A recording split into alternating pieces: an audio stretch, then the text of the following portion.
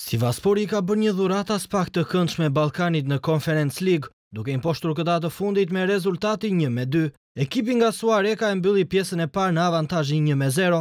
Në të dytën, miqtë u treguan edhe më kërkues duke rritur intensitetin e lojës dhe sulmet në portën kundërshtare. Në minutën e shtatëdhjetë e dy ishte Arslan i cili mposhti Frashin, duke sjellë barazpeshën e përkohshme.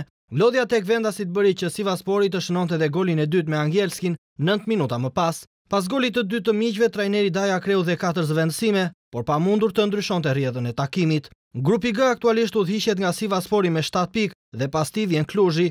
Slavia e Pragës dhe Ballkani janë me nga katër pikë pasi edhe çekët u mposhtën në Rumani dy me zero. Edhe ndeshjen e radhës në Conference League, ekipi nga Suareka zhvillon në shtëpi ndaj çekëve.